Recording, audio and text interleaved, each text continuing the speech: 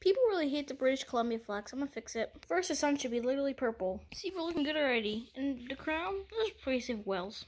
Also, I'm gonna give this flag a Sealand watermark. This is totally better. And how the blue stripes? This section feels weird. I think I'm gonna fix it.